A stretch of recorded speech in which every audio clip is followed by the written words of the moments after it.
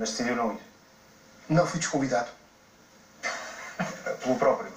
Pelo próprio.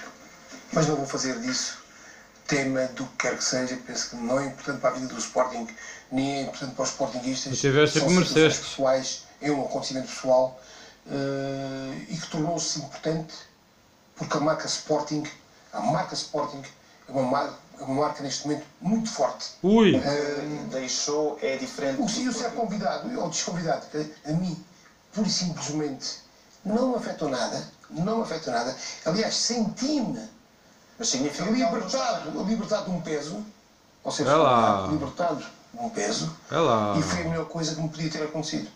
Não É voltados, nem podia ter sido voltado de códigos voltados para, para ninguém, porque efetivamente vivi dois anos, eh, como lhe disse, voltei a reviver Voltei. eh, e disse-o e continuarei a dizer, fui sempre respeitado e, e bem tratado eh, pela família sportinguista.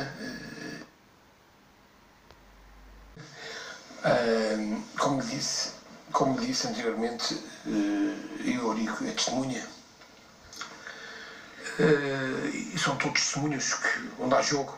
Olha, eu sei, temos conhecimento, de que muitos eh, empresários, antes de fazer grandes negócios, consultam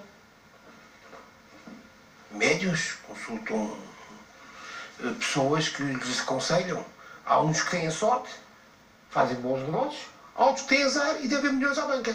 É assim, é a vida. Umas vezes sai bem, outras vezes sai mal. Quando sai bem, tudo bem, maravilhoso. Quando sai mal, quando se ganha os jogos, lá aparece o, o senhor dizer que foi ele ganhou o jogo, desviou baliza e não sei mais. É por isso que há bocado falei da situação do, que sou que respeito, não conheço, do nosso general quiniense.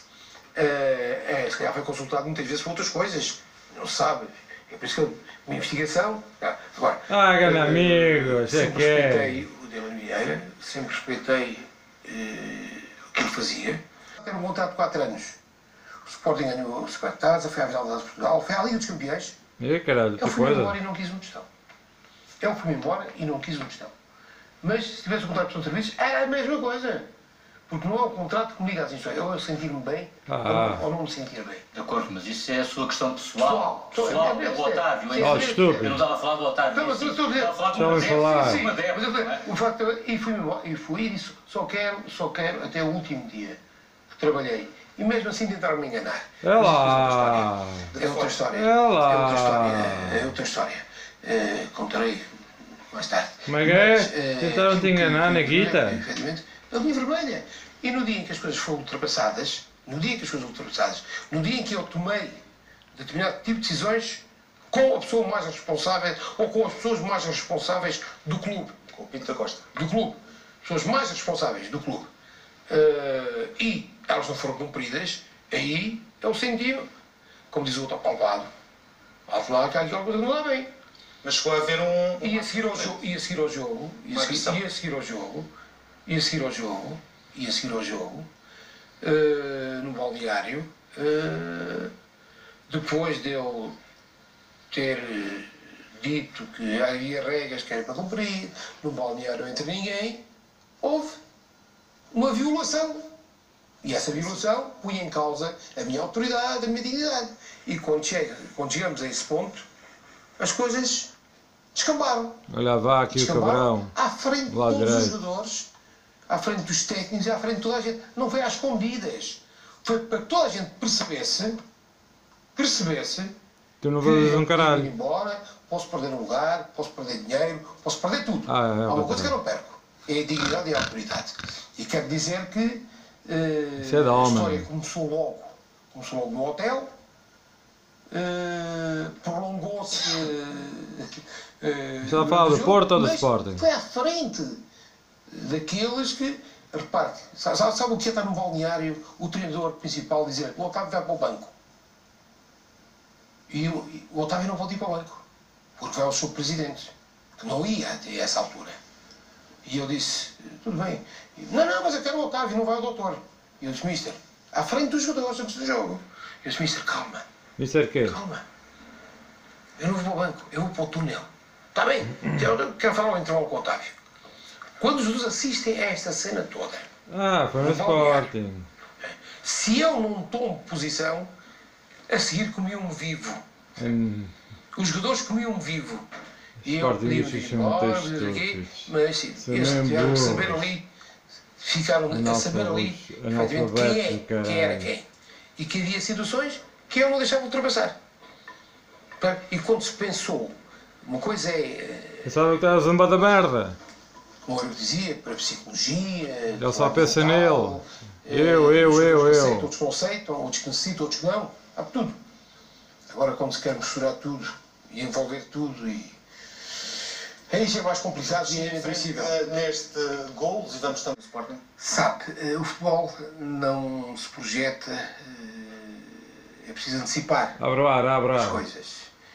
E isto vem demonstrar, vem demonstrar que se o Sporting tivesse contratado o ano passado o Danilo, Tinhas razão. efetivamente tinha a continuidade já assegurada, já assegurada. Para melhor. O Jesus, mais uma vez, demonstrou que tinha razão, mas não se concretizou. Uh, Está lá o transferência do todo poderoso. infelizmente foi para o Porto, onde é feliz, está na seleção nacional, mas o Sporting podia ter acautelado, acautelado já a saída do William, porque o William era claro, era claríssimo que Também você não brava uma boa merda, só no fora. Sporting. Otávio, É bem, As pessoas não devem estranhar, isto foi uma saída anunciada. E eu vou demonstrar que foi uma saída mas anunciada. disse há pouco que Ah. eh, Foi o uma saída. ter sido desconvidado É que foi o melhor que lhe podia ter acontecido. Sentiu algum alívio até. Senti, senti alívio, senti alívio. Penso que se há uma coisa que eu não sou, é hipócrita. Oh, Hipócrita Disse aquilo que sentia Grande dica para o teu pa- e vou ex-patrão. continuar a fazer. Otávio, agradeço a sua presença. Uma. Boas pessoal, gostaram do vídeo? Ele ainda não se abriu todo. O otário de Machado. Mas ele vai abrir mais o ar. Isto foi só uma chega. Tenham calma. Tenham calma. Eu conheço este tipo de gente. Mais dia, menos dia. Os Sportinguistas vão ter umas novidades muito boas para nós, benfiquistas. Muito boas. Vão realmente conhecer quem é o Bruno de Azevedo. Mais uma coisa para os Sportinguistas. Este casamento no Mosteiro dos Jerónimos e na Estufa Fria e o Raio Esparta e mais aquela gente toda que foi atletas, atletas juvenis, iniciados, bebés e não sei o quê, foi tudo ao casamento, pagou ele tudo. Quem fez o catering foi aquele jabardo que falou primeiro mal dele e depois andou aí a lamber-lhe a... Vocês sabem. E agora é o maior amigo dele. Sabem quem é que paga essa merda toda? São vocês. Vão ser vocês. Estes anos todos que ele vai lá ficar. Vai ser o Sporting. Pagou este casamento todo luxuoso. Porque ele se não tivesse no Sporting, sabem onde é que ele estava? No desemprego. Era mais um. A receber o ordenado mínimo. Ok? Abram a cabeça. Não sejam retrógrados. E antes de falarem mal dos outros, não andem a cuspir para o ar. Podes-vos bater na testa. Quando vos bate na testa é mau. Estão a perceber o que eu quero dizer? Agora fiquem bem.